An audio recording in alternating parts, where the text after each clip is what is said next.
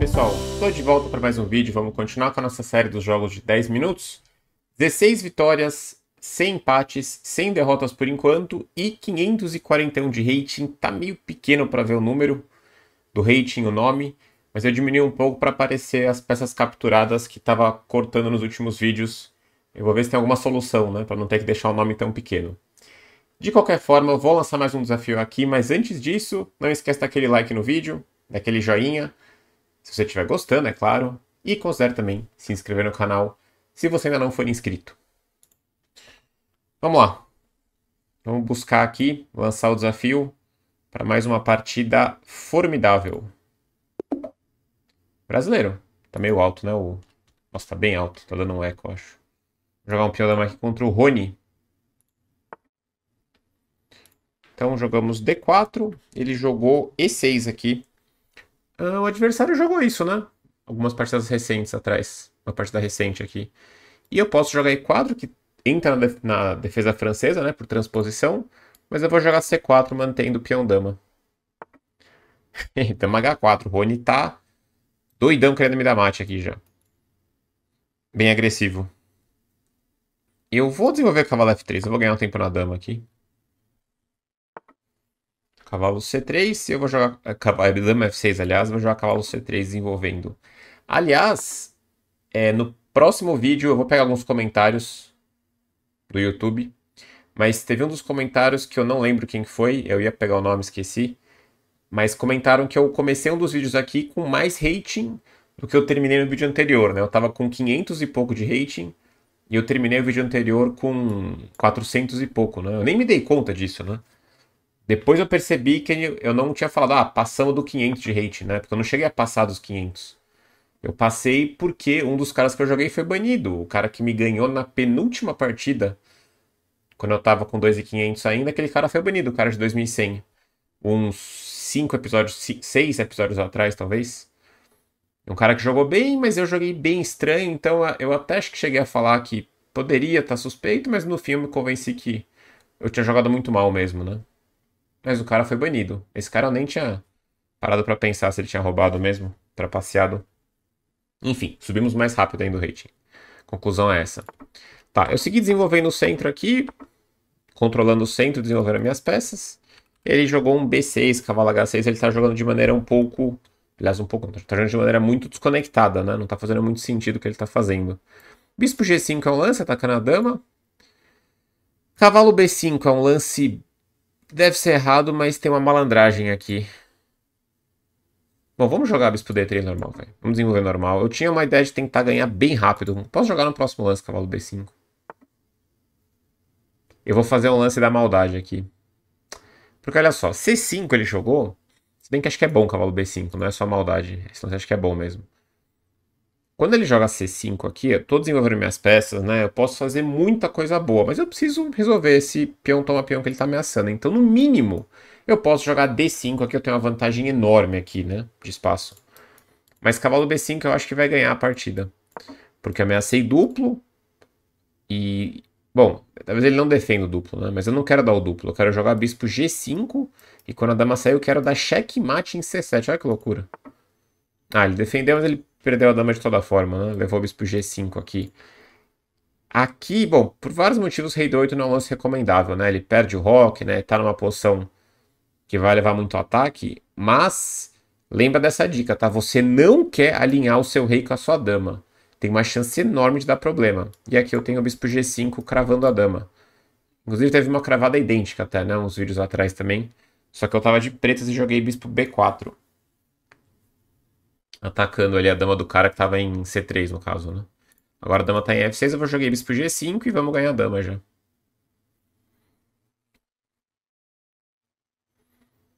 Rony JSH. Criou a conta mês passado. Em fevereiro.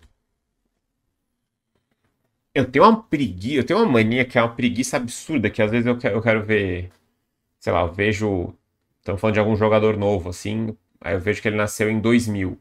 Ao invés de eu fazer a conta, né, de que ano que a gente tá, eu sempre olho pro relógio do computador e faço a conta, né? Quer dizer, parece que é difícil perceber que a gente tá em 2024, né? Eu vejo 2000 e falar, ah, 24, ah, então o cara tem 24 anos, né? E eu fiz isso, né? Eu vi que ele se cadastrou em março, falei, ah, um mês atrás, é, se cadastrou em fevereiro, falei que foi um mês atrás, só que eu não preciso olhar pro, né, pra data, eu sei que estamos em março, né? De 2024 também. Mas são pequenas tecnologias que deixam a gente preguiçoso, né? Faz parte da vida atual. Ele sacrificou a dama, né? Não tinha o que fazer, ele entregou a dama, né? Por falta de opção. Hum, eu vou fazer o rock mesmo direto. Deixar meu rei em. É, nem precisava, né? Ele nem tem dama pra me atacar. F5. Então, o Rony, que é um jogador brasileiro, né? Vamos torcer pra ele assistir os vídeos. Eu tenho várias dicas legais para dar para ele, tá? Que eu vou dar depois da análise. Vou tomar em F5 aqui. Quero jogar dama F3 também. Tomou. Agora o rei dele tá muito próximo de levar mate, né? Vamos colocar uma torre em E1, né? O rei tá meio cortado aqui, ele não tem como escapar para C7. Bispo B4, tá com a minha torre. Incrivelmente... Ah, vou jogar dama H5, quero tentar armar um mate bonito aqui. Pode ser que ele tome minha torre. Eu vou tomar a torre por E1.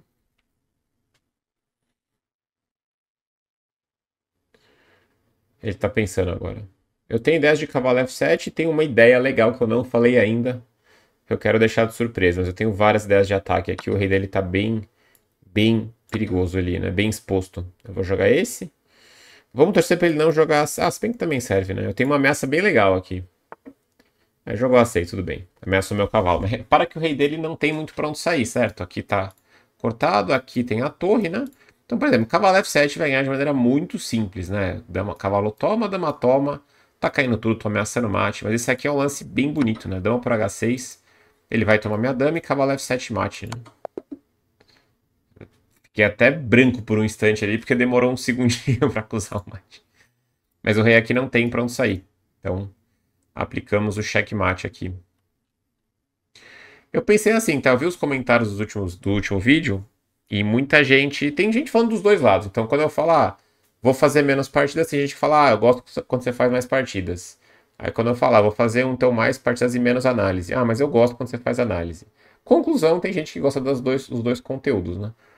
Então, assim, como essa partida não teve nenhum interesse teórico em relação à abertura, né? Porque ele já fez um erro de conceito direto, né? De sair desenvolvendo a dama super rápido, então não vou nem conseguir encontrar uma partida antiga de referência, né? Porque, por exemplo, D4, E6 aqui, não adianta eu procurar abertura a partir daí. Até poderia, né? Vamos dizer, uma posição com D5, um hábito de dama recusado? Pode ser. Mas eu vou focar mais quando a partida tiver um pouquinho mais de interesse teórico, né? Quando a gente jogar uma variante minimamente um pouco mais teórica, né? Eu vou jogar mais uma de toda forma, depois a gente volta para analisar. E se não tiver nada de abertura interessante, eu vou buscar uma partida qualquer num gambito de dama recusado aqui. Tradicional, né? Vai ter um monte de partida antiga do começo do outro século, né? Do século XX. Vamos lá, jogar mais uma partida. Brancas de novo. Vamos pro peão dama aqui contra o nosso Chess Jazer. Estados Unidos. Não é Estados Unidos, não, né? É Estados Unidos. Achei que era. Tinha algum outro símbolo ali. Bom, vamos jogar C4, gambito da dama. Muita gente tá tomando, né? É. Eu vou jogar o E3, que foi o lance que eu já joguei, que é o lance que eu recomendo no meu curso do Gambito da Dama, né? Você pode adquirir o curso clicando no link que está na descrição aqui desse de todos os vídeos. E foi o lance da partida do Marshall contra o Schlechter, que foi uma análise muito legal, uma partida que eu adorei. Fez o Marshall subir no conceito, hein? Vamos ver. B5 é tipo uma armadilha que eu tô buscando que ele joga. O B6 é um lance bem aceitável até. Visualmente é esquisito, né? Porque ele tampa o peão aqui, mas ele pode desenvolver assim. Eu vou jogar cavalo F3. Desenvolver normal aqui.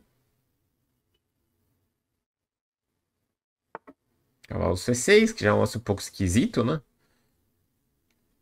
por motivos que eu já falei para vocês, né? Geralmente o cavalo não desenvolve para cá, né? Geralmente o cavalo vai para cá primeiro e ele quer tentar geralmente fazer um C5 antes. Então vou jogar cavalo C3 desenvolvendo de maneira natural e já tô ameaçando um D5 aqui, que é um garfo, né? Ele pode defender sem querer, né? De maneira natural. E olha que interessante isso aqui. F5 já não é um lance bom. É um lance bem curioso, né? Assim, é bem errado o lance. Mas é como se ele quisesse controlar o centro, né? conceitualmente faz algum sentido até, mas é um lance que aqui é bem errado. Mas olha que interessante, eu falo para vocês bastante que no xadrez, praticamente sempre, Os lances bons são lances naturais. E aqui eu tô ameaçando o garfo. Vamos dizer que você não tá vendo a ameaça, certo? Você fala, pô, eu vou. Não tô calculando nada. Tô pensando só em tática. Eu tô pensando só em conceito, desculpa, né? Não tô, tá, não tô pensando em tática. Aí eu penso, pô, tem que tirar o cavalo de G8. Eu posso tirar para cá ou para cá, né? Você fala, ah, vou chutar o cavalo para cá mesmo. Se você fizer o cavalo aqui, sem querer se defender uma ameaça. Por quê? Tem muito mais chance de estar tá acontecendo alguma coisa no centro do que o cavalo aqui. E óbvio, o cavalo aqui ele controla oito casas, né? Vamos fazer aqui uma, duas, três, quatro, cinco, seis, sete, oito, né? Porque ele está numa casa um pouco mais centralizada, né? O cavalinho H6, ele só controla quatro casas. Uma, duas, três, quatro. Olha a diferença, o cavalo no canto é outra peça. Ele controla apenas quatro casas, né? Então ele tem a, o potencial dele dividido pela metade, né? Nunca pensei desse jeito, né? Faz bastante sentido até. É um jeito bom de explicar, né? Porque o cavalo fica tão mal no canto. E se o cavalo estiver aqui, ele ocupa duas casas apenas, né? Se o cavalo tá aqui, ele só pega essas duas casas, né? Se estivesse em H8. Enfim, cavalo fizeram um lance natural que defenderia. É... o, cara... o cara mandou a carinha de sono. Tadinho do cara, né? O cara tá ali. Que horas são nos Estados Unidos agora? Aqui à noite no Brasil depende onde ele tá, né? Mas o cara tá ali, né? Trabalhou o dia inteiro, aí chega em casa, tá ali tranquilo, fala: ah, tenho 20 minutos de paz aqui, deixa eu pegar meu celular, jogar uma partidinha, e aí chega um cara, no caso eu, né? E pensa 1 minuto e 36 no lance, na abertura, né? Eu devo estar tá assustando os caras do chess.com assim, né? Ah, meu Deus, que jogo chato, o cara não, não joga, né? Bom, dei o garfo, né? Resumindo, tá aqui as duas peças. Vou tomar de dama em D5. Vamos acelerar um pouco em respeito ao meu queridíssimo adversário aqui. Eu tomei de dama pra trocar as damas logo. Vamos tomar em D5. O cara, o cara mandou a carinha aqui. Ele mandou, cadê? Ele mandou... Cadê a carinha do sono? Aqui, essa aqui, né? Bom, ele jogou rocão. Eu vou. Bispo C4? Pode? Pode, né? Tá. Eu vou tomar o peão e defender meu cavalo. Ele atacou meu cavalo aqui com o rocão. É, eu acho que vamos analisar. Vou, jogar só mais essa partida aqui. E vamos analisar. O, ah, vou pegar uma referência da outra posição. Da outra partida, né? Um gambito da dama recusado. Cavalo F6, eu vou trocar os cavalos, parece tranquilo. Ele vai tomar de E para abrir o bispo, talvez. Tomou de G para trazer peão para o centro. Eu vou. Posso dar o cheque e tomar o peão, né? Que parece bom, mas eu vou jogar rei E2. Lembra dessa dica, tá? Essa dica vocês já cansaram de ouvir. Mas assim, não tem por que você fazer o rock no final. Se você achar uma casa segura para o seu rei, deixa o rei no centro. Rei E2 é uma casa excelente aqui. Ele não tem bispo de casa branca, ou seja, não tem perigo dele te dar um cheque na diagonal. Não tem cavalo invadindo para te dar cheque. Então, assim, o rei tá sempre, sempre melhor no centro se ele não estiver levando ataque. A dica é essa, basicamente, tá? Ele pendurou a torre agora com torre G8. Então lembra disso, não é para fazer o rock nos finais. Geralmente é desnecessário. É uma diferença grande, tá? Tende a ser ruim fazer o rock nos finais. Porque o rei vai participar no centro. O rei tá começando já a entrar pra festa, né? É hora, é hora do rei, né? Participar também. Ele só fica assistindo o jogo. Como teve troca de damas rápido, ele já vai entrar desde o começo aqui, né? Geralmente o rei é aquele jogador reserva que entra só no finalzinho do jogo mesmo, né? Muito bem. O Breno mandou. Monstro. Breno AS acompanhando a partida. Então chegamos a 5,56 de rate. Vamos pegar e ver uma partida hoje, então. Eu vou tô gostando de alternar, vou, vou alternar esse estilo da Sleep Run, né? Um dia com mais partidas, talvez três, talvez até quatro, dependendo, né? Se eu jogar um pouco mais rápido. E outras com uma ou duas partidas, geralmente, com análises de alguma partida antiga que eu achar por acaso aqui, tá? Não tô escolhendo partida antes, é só o que aparecer aqui pra gente. Vamos dar uma olhada na, nessa partida primeira, então, já que eu vou usar outra de referência. Vamos ver a partida contra o Chess Jazer. Fazer a revisão. Vamos fazer a revisão. 95.8, beleza? Precisões altas, né, por enquanto. E ele fez 70. Deixa eu deixar mais um pouco aqui. Teve lance excelente, ótimo. Não fiz nenhuma imprecisão, nenhum erro, nenhuma chance perdida, nenhuma capivarada. E ele fez algumas impressões, levou algumas críticas aí do Stockfish. Vamos dar uma olhada aqui. Então D4, D5, C4 ele tomou, E3, já falei aqui em vídeo recente, né, que B5 é um lance bem perigoso, né, porque eu jogo A4 e se jogar C6 eu já tenho armadilha, que é que eu recomendo, no, que eu indico né, no curso do Gambito da Dama. Dama F3 e a torre não tem para onde ir, o preto tem que entregar uma peça com cavalo C6.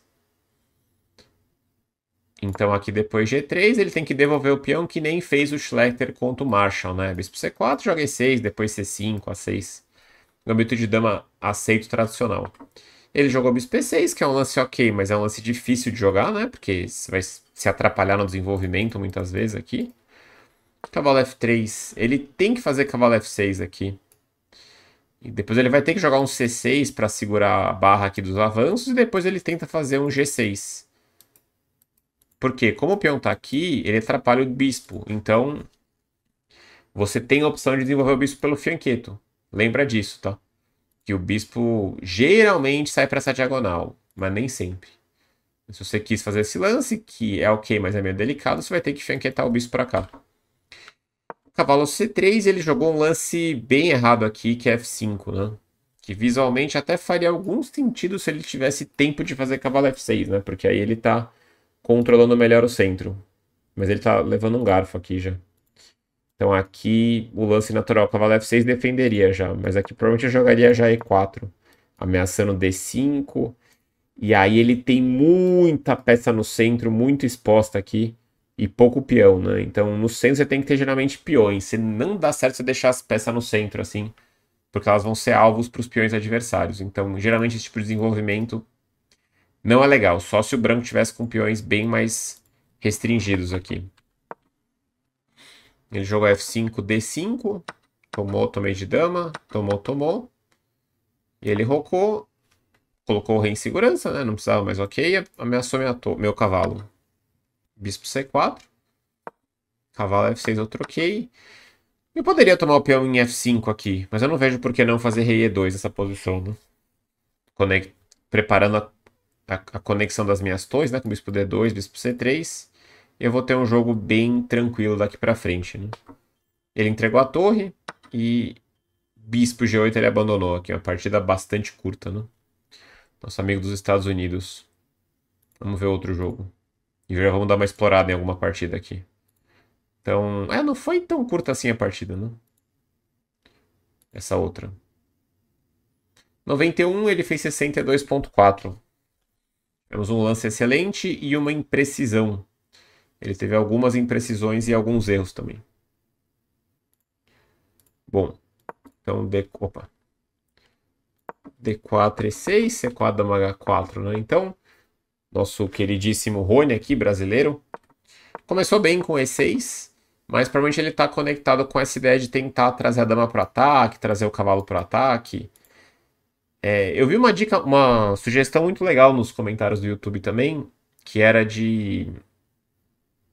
É que ele nem conseguiu aplicar a ideia dele aqui, tá? Mas pegar o histórico de partidas do jogador que vai tentar dar o mate do pastor ou algo assim, e ver se ele consegue aplicar isso com frequência, né? Eu gostei muito dessa dica, dessa sugestão, porque eu gosto sempre de ir atrás de uma certa estatística para ver se aquilo funciona ou não funciona. Né? Porque às vezes a memória afetiva, podemos dizer, é boa porque às vezes o rapaz aqui conseguiu dar um ou dois mates desse. A sensação é boa de ganhar o jogo em cinco lances. Só que às vezes ele ganha um jogo assim e fica mal em 10 seguidos. Porque ele já tá começando a subir o range aqui, 500, 600, 700 daqui a pouco, ninguém mais leva mate do pastor, né? Subindo um pouco mais, né? Talvez os bem iniciantes pode acontecer, né? Vai acontecer, com certeza, mas não sei com qual frequência também. Bom, mas hoje vamos focar na parte da, da base aqui. Vamos finalizar rapidinho essa. Ou podemos já explorar aqui, né? E deixar a análise para o final. Então ele já veio com a dama e acabou com a dama bem exposta, né? Vamos revisar a partida daqui a pouco. Mas antes disso, vamos explorar aqui alguma partida, claro, não com o dama H4, né? Que é um lance que não vai ser encontrado aqui. Uh, mas vamos ver uma posição com D5, por exemplo, que seria o lance normal, né? Inclusive quem joga E6 vai jogar D5 geralmente, E aí, cavalo C3, hoje em dia você tem lances como C6, bispo E7, bispo B4. A6 é muito popular hoje, que é a defesa Janowski. Opa.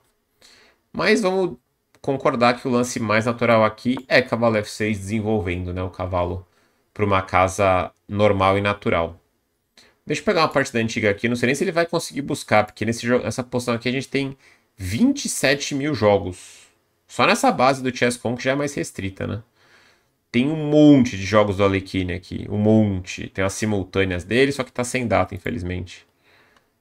Tem, nossa, tem um monte de simultânea do Alekhine. É, tem um monte de partida sem ano aqui. Mas espera que eu tô chegando aqui na, nas mais antigas. É que eu escolhi uma posição muito... É, aqui já até já esgotou, não vai dar certo. Vamos tomar aqui. Tomar aqui e jogar bispo G5, né? Pronto, que é a variante mais natural. Já baixou para 16 mil jogos. Já melhorou um pouco. Deixa eu ver se eu acho aqui agora. Tá. Porque algumas partidas tá sem ano aqui, né? Agora a mais antiga, peraí.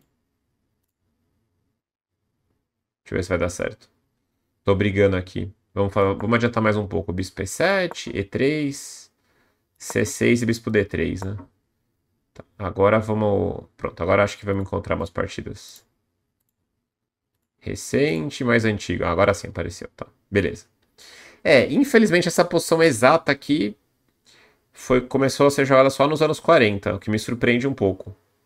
Eu acho que nas partidas do Capablanca, do Alekhine, jogavam muito com cavalo F3, né? Eles não tomavam em D5. Mas tudo bem, podemos pegar de outra época. Não precisa ser um jogo de 1905, né? Ah, deixa eu ver aqui. Tem muitos caras bons aqui, eu tô vendo na, na lista. Petrocian, mas ele empatou. Queria pegar uma vitória, né? Uma partida geralmente com vitória eu queria pegar. Tá, vamos pegar aqui. Deixa eu ver, deixa eu ver, deixa eu ver. Petrocian, vamos lá então. Um contra um jogador não conhecido, infelizmente. Vamos tirar a barrinha aqui. Ixi, eu perdi a partida. Estamos sofrendo aqui. Vamos ver essa aqui. Vamos ver essa aqui do Bronstein. Bronstein é um grande jogador também.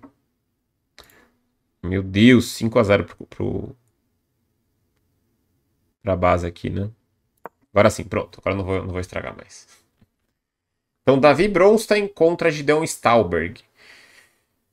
Eu conheço muito pouco do Bronstein, na verdade, né? O Bronstein, ele foi desafiante ao título mundial, né? Jogou com o Botvinnik uma vez. E era um cara muito bom mesmo. Muito bom. Mas eu não sei dizer muita coisa sobre a carreira dele, além disso. Né? Sei que ele é um jogador de elite, claro. Um jogador muito criativo, eu lembro disso. Né? Acho que ele bem criativo, bem inventivo nas aberturas sempre. Tinha ideias legais. E o Gideon Stauberg é um cara que eu acho que ele era sueco, talvez.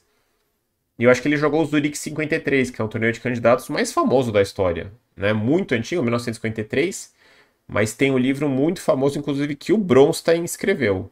Tem várias versões desse livro. Zurich 53, tá? Esse livro vale ouro, tá? Porque são muito, mas muitos caras bons, vários caras bons. Se eu lembrar, eu vou trazer a tabela desse torneio, não garanto no próximo vídeo, mas num vídeo logo. Essa tabela é incrível, né? Porque é um torneio de candidatos, um dos mais fortes da história. E tem um livro muito famoso do Bronstein, tem outros livros também de outros jogadores analisando mas muita descoberta de abertura, muita coisa sendo estudada nos anos 50 foram incríveis pro xadrez. Nos 40, 50 e 60, né? Muito jogador de muito jogador bom ali no topo, né? O título mundial trocando de jogador. E vários caras incríveis mesmo. E o Staber jogou esse torneio também. Talvez ele ficou em último, não sei. Posso estar falando besteira, mas ele era um cara muito forte, Stauber. Não sei mesmo, tem que verificar, vou ter que olhar essa tabela. Bom, temos um peão dama aqui. Bronstein contra Stauberg. Ele jogou C6, bispo D3. E aí cavalo E4, já decisão esquisita já do Stauberg. É bem esquisita, né? Então aqui o branco joga bispo D3 antes de cavalo F3 para evitar bispo F5. E eu vamos ver essa partida mesmo, tá? Mas me deixa um pouco chateado já, porque eu queria que ele jogasse rock, cavalo E2 entrasse nas linhas principais, né? Ele já tentou se mobilizar com cavalo E4, né? É um lance que tem cara de ser errado aqui, muito precipitado, mas contém uma ideia legal aqui, porque até hoje, se o, o as pretas entenderam que você tem que trocar esses bispos aqui, é um dos panos certos da posição. Então, por exemplo, cavalo D7 é um lance bem natural aqui, e depois de cavalo F3, eu não consigo mexer aqui, né? H6, bispo H4 e cavalo, e cavalo H5, trocando os bispos aqui. E o preto tem uma posição aceitável, legal. Então ele já quis forçar a troca dos bispos aqui direto com cavalo E4. Aí tomou em E7, dama por E7, bispo E4, D por E4 e dama C2 já tocou no peão aqui. E não é tão simples defender, porque F5 é um lance que eu não quero fazer e bispo F5 eu já estou levando mais um ataque no peão, né? Vamos ver como é que ele segurou o peão. Mas isso aqui já parece uma fraqueza, né? Bispo F5, cavalo de G2, roque. E aqui ele fez um lance que eu gostei bastante aqui, o Bronstein. Ele jogou... Não seja fácil pro branco aqui, tá? Mas parece suspeito pro preto isso. Ele fez H3, que é um lance bem flexível, que eu gosto. Não mostra as intenções ainda. Por algum motivo não fez cavalo G3 direto. Acho que bispo G6 mesmo, né? Claro. Porque se tomar em E4 tem um torre 8 eu tô numa cravada chata. Ele fez H3. Cavalo A6, né? Ameaçou cavalo B4, que seria mortal aqui. Lidar com esse cavalo aqui não estaria nos planos. Jogou A3, lance lógico, defendendo o pulo aqui do cavalo. Torre 8 e aí cavalo G3. Bispo G6 e H4. Esse é um lance bem legal. Ele tá dizendo que ele não vai rocar pequeno aqui. Ou ele tá adiando o rock, né? Mas ele faz H4 aqui. Realmente dizendo que vai ser difícil ele rocar. Porque se eu faço rock... Normal também, tá? Mas aí talvez F5. Prepara F4. E aí eu vou ter que fazer um lance tipo cavalo E2. E eu ainda gosto do branco, né? Eu vou ter um cavalo F4. Mas eu também chego com cavalo C7. Não sei, eu gosto muito desse H4 aqui. Ameaça H5, ganhar o bispo, né? Que vai ficar sem casa. Ele faz H6. E aqui, antes de Rocão, ele faz um lance bem misterioso aqui, o Bronstein. Porque Roquinho não dá, tá caindo H4, né? Rocão é possível. Mas ele começou com Dama A4. Esse é um lance bem misterioso para mim. Bem curioso, né, esse lance? Intrigante. A única coisa que eu consigo pensar é que ele quer evitar cavalo C7 mesmo. Ele quer tomar o peão em A7. Esse é o lance bem original, né? Eu já, de novo, sendo fiel ao estilo dele, do Bronstein. Talvez contra Rock, cavalo C7, ele tava com, sei lá. Queria evitar esse lance. Cavalo pode vir para cá, para D5, né? Ele joga esse. Lance bem inusitado aqui com a dama. Mas acho que é isso, né? Ele quer evitar esse. Tanto que o cara acredita, né, nele acredita e faz torre A8, que é um lance super esquisito também, né? É, se F5, talvez cavalo E2 agora e cavalo F4, né? Eu vou jogar rocão e rei B1. E aí você tá se expondo mais com F5, né? Ele jogou lá, lá ele acabou jogando F5 de toda forma. Podia ser esse, né? Não sei se aí talvez dama E6, não, dama E6 não, cavalo E... Aqui dama F6, talvez ele para F7. Eu tenho medo de brancas aqui um pouco também. Pode chegar um C5, né? Ah, tem outra ideia aqui, talvez, né? Se ele roca direto, talvez B5, né? Ah, não, B5 é um lance bem mais perigoso. Mesmo que o bispo tá fora de jogo em G6. B5 e B4 tá vindo, né? Ah, é pra evitar B5. Esse é um lance bem legal. Porque se eu pegar uma partida de um jogador desses, quase tudo que o cara faz, geralmente eu vou ter uma ideia, já vou ter visto, né? Um lance parecido. Eu nunca vi esse tipo de lance. Dama 4 é um lance que me chama atenção mesmo. Rocão, aí H5, bispo E8. Dama A5 ele jogou, né? Sai dos possíveis C5 aqui, a dama fica numa casa segura. B6 está perdendo o cavalo, eu tô ameaçando em F5. Propôs a troca. Ah, e temos um final agora. Eu nem tô vendo quanto lance foi a partida, mas ele joga rei D2. E eu não sei avaliar, eu acho que eu prefiro branco. Mas tô achando que não é muita coisa não, porque um plano seria cavalo E2, cavalo F4 e torre C1. Bem natural, bem harmônico. Mas aí talvez cavalo E2 ele vem cavalo D5, né? E não sei se eu tô tão bem assim. Tá chegando bispo D7, bispo P6, eu tenho rupturas aqui. E isso aqui é uma fraqueza, mas isso aqui também, né? Não sei se tá tão melhor assim. Bispo D7, puxou outro cavalo para E2, tá? É, esse aqui não era bom não. Cavalo D5. Esse pode ser, porque eu vou garantir o cavalo F4, você não tem como contestar o cavalo, né? Se cavalo D5, aí realmente eu tenho que estar tá pior, né? Troca-troca, cavalo F4. E cavalo E6 é meio instável, né? Jogou cavalo E6, ok. Rei C2, torre E8 e G3. Paralisou qualquer tipo de F4 aqui. Tá preparando um D5 às vezes, né? Torre C8, rei B1, escondeu o rei. Não, peraí, como é que foi aqui? Ele subiu com o rei, o rei veio para D2, ele voltou, ele rocou grande, veio para cá, para cá, agora ele tá voltando, né? O cara é muito original sempre. Torre D8 e veio o D5 aqui. Talvez o preto tava, tá preparando uma coisa assim. Toda hora que vem esse, vem esse, né? É, deve estar tá um pouco chato aqui. Veio o D5, tomou. Ou o C5 era possível, né? Tomou, torre toma. Cavalo C7, soa meio esquisito esse lance. Ah, porque tá caindo aqui, né? Jogou cavalo C7, torre 5, torre 8. Trocou, trocou. E bispo E6. Cavalo F4, rei F7. Cavalo B5. Ah, agora conseguiu estabilizar, fincar bem os cavalos aqui, né? Torre 5, cavalo B3. Agora eu vou e volto com a vontade aqui. Eu tô de olho aqui, né? Eu tenho mais liber... muito mais liberdade que a torre de E5. Agora ficou passiva ainda. Torre C1. Cheque. Uh, agora ficou muito passivo, né? Deu o famoso outplay no final, né? Deu uma torcida aqui no Stalberg. Rei C1. Ainda não é simples, né? Porque aqui tá vindo o cavalo G4, talvez. E o bispo tá passivo, mas ele controla tudo, né, no momento. Os cavalos não têm pulos muito ameaçadores. Jogou rei C1, que é um lance fino, né, pra tentar trazer o rei, é um lance sutil. Veio o cavalo G4, tocou no peão. Cavalo G6. Cavalo F6 e cavalo F4. Repetiu. Não, peraí. Preto não quis empatar aqui? Peraí, cavalo G4 lá. Por que, que ele não tomou o peão aqui?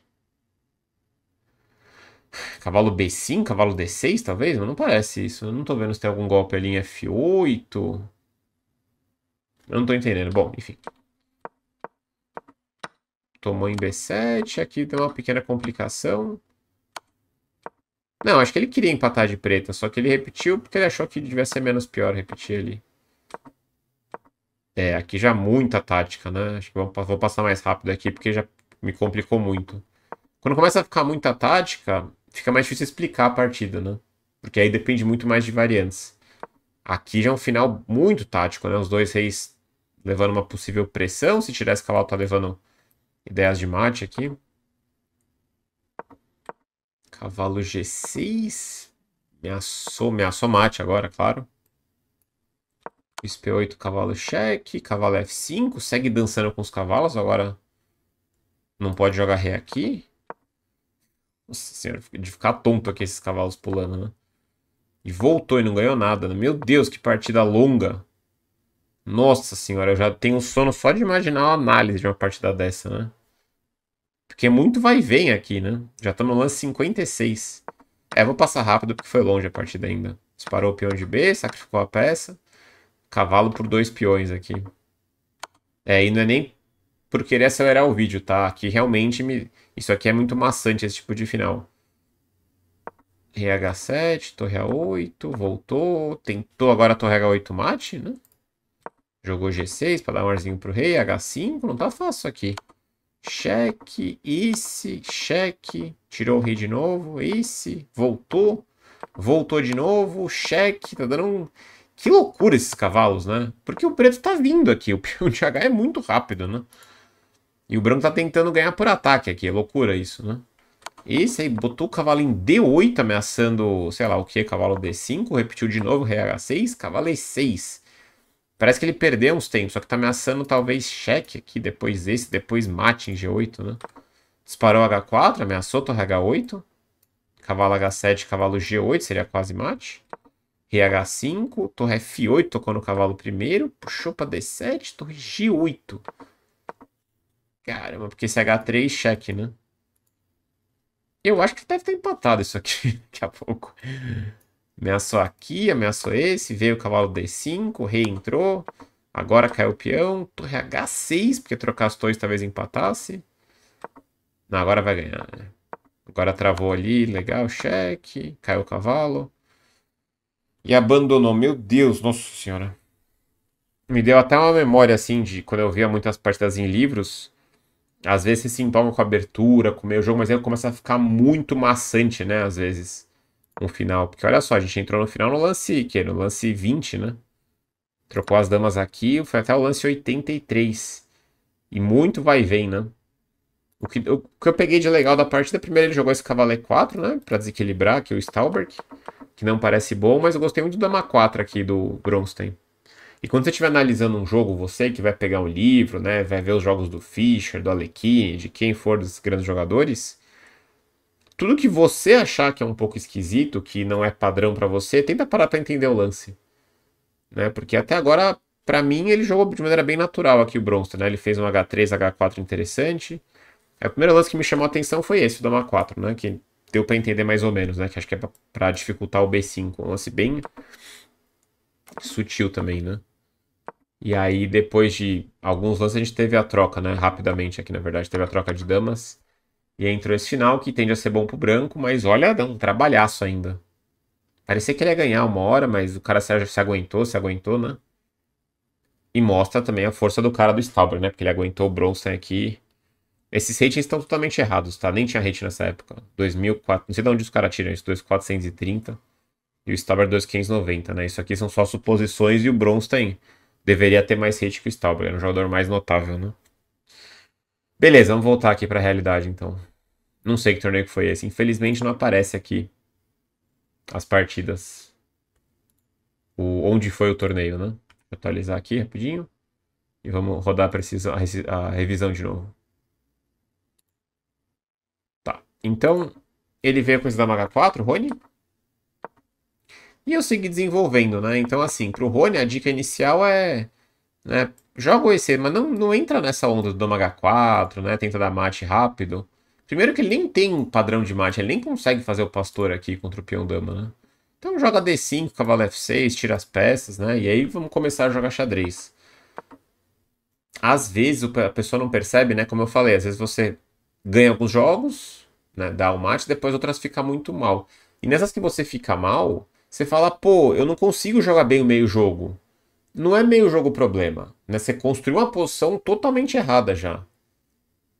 E não é que você tem que estudar abertura, você tem que entender conceitos de abertura, né? Esse que é o importante. Então, às vezes não é o meio jogo o problema. Às vezes é a posição que você chega já está muito estragada, né? Então, assim, se ele começar a reclamar, por exemplo, que a, as posições dele no meio jogo estão ruins, né? É porque já está muito difícil de jogar aqui. Né? Ele teria que fazer o quê? Voltar a dama que está muito exposta aqui, jogar bispo 7 e fazer o rock. Ou até mesmo, às vezes, cavalo G8 e trazer o cavalo para cá, não sei. Ou tentar jogar um D6, E5, né? Ter, ter um pouco de presença no centro aqui. joguei bispo D3 e aí C5, então muito desconexo, né? Ele tem que, urgente aqui, desenvolver as peças, urgente. Então ele tem que voltar a dama e jogar bispo E7 aqui. Né? Ou bispo B7, pelo menos, que seja tirar o cavalo para C6 meio desajeitado, né? Bispo B4 é um lance também cravando. Mas aqui, muito lance né, desconectado um do outro. joguei o cavalo B5 na maldade aqui, porque se ele tomasse aqui, eu ia jogar esse. E a dama tá presa, porque a única casa pra dama é essa, só que eu tenho mate em C7, né? Ah, tirei a barrinha, né? Aí eu tenho mate aqui. O rei tá preso, né? Então ele jogou rei D8, bispo G5. E aí caiu a dama, né? Aqui não tem muito o que falar. Fiz o rock, ele jogou F5, né? Claro, dá para sugerir lances melhores aqui, sim. Tentar não abrir tanta posição. Mas é, não se estuda xadrez uma posição com, peão, com a dama a menos. Né? Eu sei que vai acontecer posição de desequilíbrio material, mas não é um estudo produtivo você estudar posições que estão muito, muito ruins, né? Por isso que acho que vocês devem ter visto já muitas vezes, né, em, em, vídeos no YouTube ou até em livros, né, que quando fica muito perdido não tem nem análise às vezes, né? Tem partidas antigas de livros do, sei lá, do Fischer, do, de quem for, né, do Smith ou do Alekhine, que aí ficou às vezes com dois pens a menos, aí o cara fala assim, né? O autor fala, ah, agora é só questão de técnica. E aí o cara mete 20 lances sem nenhuma análise, porque é tudo muito óbvio para ele, né? Ah, estamos falando de caras incríveis, de um nível muito alto, né? Mas é isso, tá? A gente não deve ficar analisando muito posições que tá muito ganho, né? Eu tento passar rápido aqui porque perde o propósito aqui do, do vídeo também. Enfim, ele jogou F5 e aqui ele tá com o rei totalmente no meio da rua, né? Tomou, tomou. E agora tem as 10 de mate aqui, né? Com sacrifício de dama e cavalo F7 que ele acabou permitindo, mas enfim. Posição já não tem remédio. Legal o dama H6 aqui, né? Ah, é mate em 2, olha só que legal. Não é nem cheque, né? Mas assim, o ataque tá furioso aqui, né? Porque torre F8, dama G7, ameaço muita coisa, né? Como que é o mate aqui? Dama D6? Porque dama... Ah, dama B6 é mate. Nossa senhora, eu nem sonhei com isso. Eu vi na... Não tô com a lista de lances ligado ali. Ah, tá, eu nem sonhei com isso. Dama B6, ok. Enfim, só pela, pela arte do jogo, né? Mas ele tomou um mate bem bonito aqui, cavalo F7, porque nessa posição exata eu tenho material a menos, né? Eu sacrifiquei a dama, e se fizer as contas aqui, ele tem 3 pontos a mais aqui, dá até pra ver, né? Nem sei como é que tá os peões. 1, 2, 3, 4, 5, 6, 7. Aí ele tem um peão a mais e qualidade a mais também. Mas é claro, só entreguei a dama porque eu ia dar um mate em F7. O rei tá totalmente encaçapado aqui. Muito bem. Então, 18 vitórias e chegamos nos 500 e... 556, tá? Esse rate aqui é da outra partida. 556 de rating, chegando perto aí dos 600 de rating. Se você não deixou o like no começo do vídeo, não esquece de deixar agora. A gente se vê na próxima. Valeu!